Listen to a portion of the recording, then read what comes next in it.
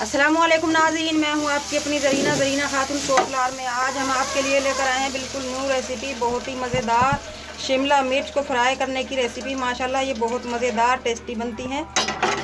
खाने में बहुत मज़ेदार लगती हैं ये, बिल्कुल आसान रेसिपी खाने में। माशाल्लाह, इन्हें आप खा सकते हैं। नमकीन चावलों में डालकर खाओगे, फिर भी मज़ेदार लगेंगी। इस तरह रोटी चपाती के साथ, बहुत टेस्टी हैं ये।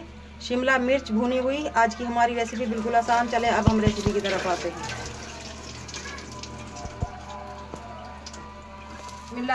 रहीम वैसे तो आपने बहुत सारी मिर्चें तल तल कर खाई होंगी, मगर आज मैं बिल्कुल न्यू रेसिपी लेकर आई हूँ।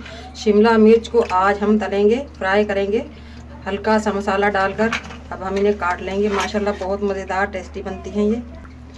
अब हम इन मिर्चों को काट लेंगे। पहले हम इस तरह से इनके पीस करेंगे। इस तरह और इस तरह अब हम इनके पतले पतले से पीस काट लेंगे। जितने आप काटें, उतने आपको पसंद हो इस तरह के। पैन हमने रख लिया है चूल्हे पे। अब हम ऑयल डाल लेंगे इसमें चार से पाँच टेबल स्पून ऑयल हमारा गर्म हो चुका है, माशाल्लाह। अब हम इसमें मिर्च डाल लेंगे।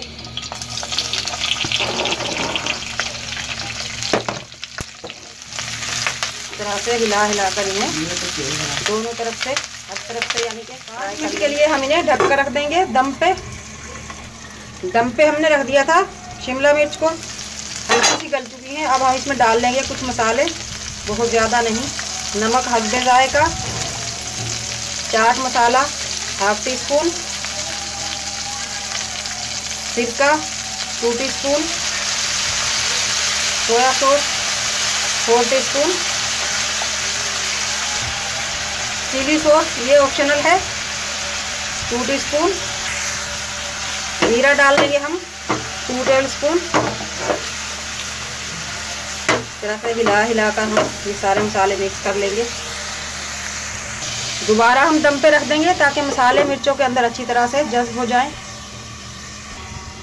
माशाल्लाह माशाल्लाह, बहुत ही मज़ेदार, टेस्टी, हमारी ये खट्टी शिमला मिर्च बनकर तैयार हो चुकी है। रेसिपी बहुत आसान, खाने में बहुत मज़ेदार। आज की हमारी रेसिपी अच्छी लगे, कमेंट बॉक्स में ज़रूर बताइएगा। सब्सक्राइब ज़रूर किया करें, चैनल पर नए हैं तो मिलते हैं अगली वीडियो के साथ। अल्लाह हाफिज़।